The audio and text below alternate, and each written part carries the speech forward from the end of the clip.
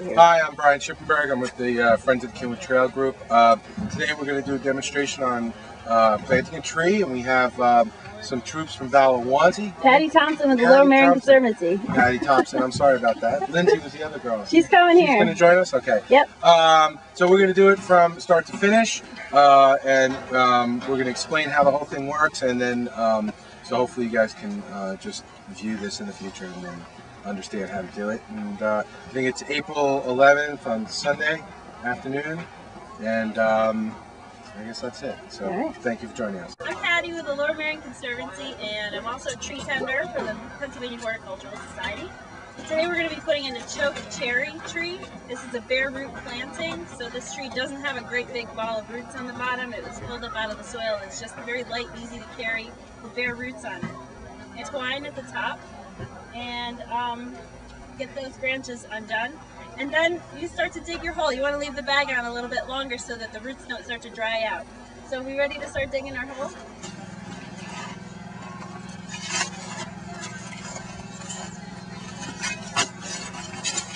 Once we take this off, these trees, they kind of bend the leaves out, right?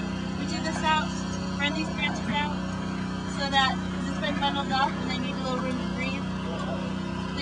the bag off, right? Okay. That's another great observation. Phyllis is reminding us to do a tiny bit of pruning for health, cutting Okay. anything that's dead, diseased, or damaged, Okay. because it's much easier to cut it when it's on the ground Good point. than once it If you cut it back to where it's, gets um, up in the air. Bud or something like yes, that. exactly right. Is that got it? See, this is all I think got we're looking pretty good. This doesn't have a lot of damage. It's a really healthy tree. And do you guys remember that trick with a shovel? The most important thing is that we don't plant the tree too deeply. Yep. What we're looking for here is something called a root flare. And that's where the roots begin to um, grow off the trunk. And so these gentlemen just pointed out, our root flare is about here. So it's where the trunk begins to swell. We want these top roots to be just below the surface. If they're planted too deeply, they don't get enough oxygen, or they don't get enough air, carbon dioxide, and then um, they just don't survive. So a lot of trees get planted too deeply, even at the nursery level. You can see this guy was into soil up, up to here when he really should have been something like this. Okay, so we need to put a little dirt in the hole. You make a little cone in there and you can tamp it gently with your foot. We don't want to stomp the heck out of it, but kind of like a gentle tamp, just so it's firm.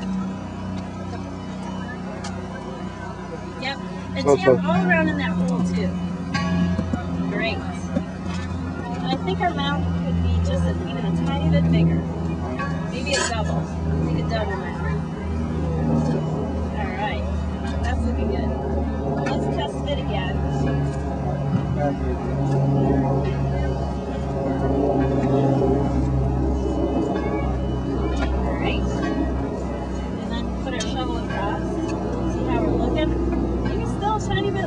Still low. So, all right, we're just.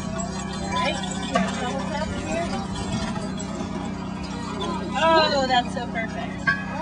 Okay, so what you're gonna do, guys, you'll start shoveling in, What we're doing when we put the soil in is you want to go about, you want to kind of work it into the roots, put a little bit in, so that you don't have any air pockets in there. So we'll work it in, and then when we're about halfway full, we're gonna put um, we're gonna put these amendments in to enhance. You guys remember what those are for? Yeah. All right, let's hear it from you guys. I'm doing enough talking here. Yep. So Eric, could you explain the silica crystals? all right. And Brian, you guys are just a little louder for Brian. Yeah, no, it's okay. One handful. What do you got there? And go right ahead. One handful you sprinkle it around, and when it rains, they grow and hold the water even. Yep. And then as the um, as the rain stops, they shrink up and um, and allow, allow the water to get back to the roots. So the first two years is really critical for a tree this size. Um, two inches is a, in uh, caliper. You want to do two years of watering. So um, watering is really essential to, to rooting these in and, and having a good year. Okay. Now we're gonna keep filling in our hole. Oh, to, no, you Oh, it's a fungus, and what it does is it attaches to the tree roots, and it helps break down nitrogen in the soil and make it available to the tree. So it's a symbiotic relationship between the fungus and the tree. So it just is just an assistant. We call it a soil amendment. So one of those per tree.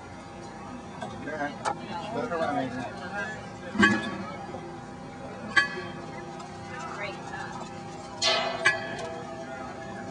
The other cool thing about bare roots is that um, they more quickly adjust to the soil that they're planted in, as opposed to the ball and burlap. They have like a little packet of their mother soil. These guys are ready to just root into the soil that they're planted in, so there's no lag time.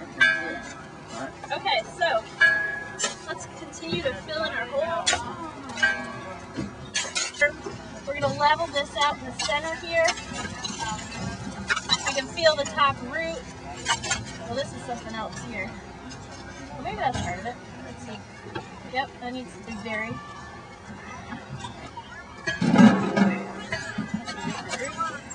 Fill that in there. We can see we've got our nice root flare here. We did a good job siting that. Got a nice kind of solid shelf in the back. A beautiful berm in the front. We'll tack that a little bit so that when the rain comes, a little bit prepared.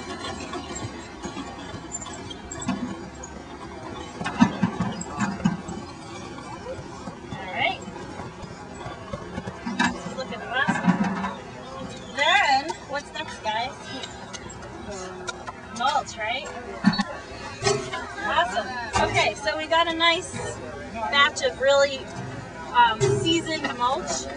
I'll pass half over to your side. We're gonna make ourselves a nice tree ring here. Donut. Cover up our, our mound. And then draw it away from the trunk here so that the water can kind of pool up in there. This is really nice stuff here.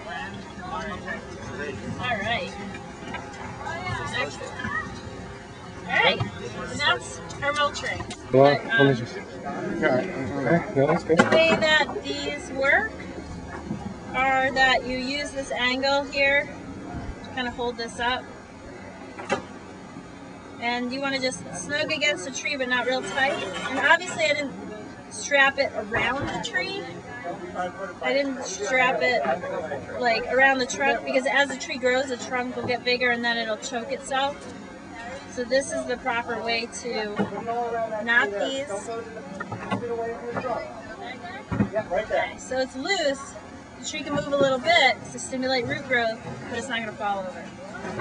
Now this one, I'm afraid we might have to use the opposite side. Obviously not very tight, like this. Okay. This is. Now this is my unsolicited advertisement for these bags here. These are called tree gators. Okay, tree gators. These will save your new trees. Trees like to be watered, a lot of water over a long number of hours rather than a little bit of water every day. Deep root watering.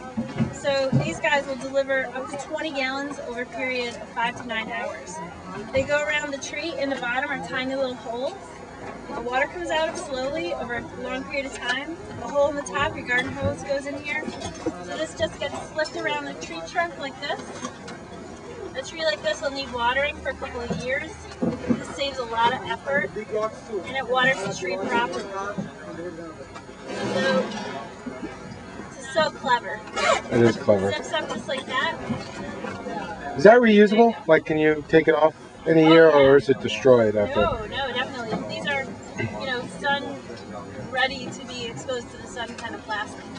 That's so awesome. So, and there you have it. The last step is filling this bag. And then that's it. You That's it? Well, that was really awesome. Thank you so much, guys. Hey, you know what? I want to. Can we get together as a group in front of, uh, behind our tree? and just, uh, can we name it? Can we name it? Hold on one second.